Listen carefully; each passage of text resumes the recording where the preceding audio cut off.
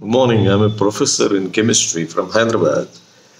I think I'm here to actually advocate and push Mr. Challa Venkateswar Rao from Srikakulam. Why I'm doing this, there is a background.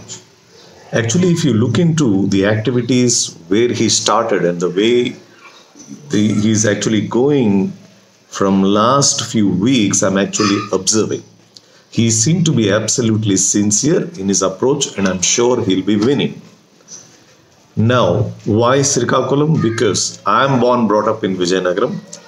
I have all my relatives in Srikakulam and Vijayanagaram and spread. All my friends over there, many of my friends. Right, and I've been watching Challa Venkateswar Rao Garu doing great work.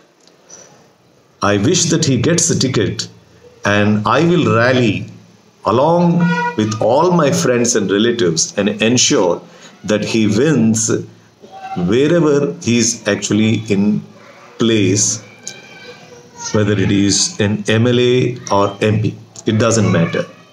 He will be winning because of the work what he is doing.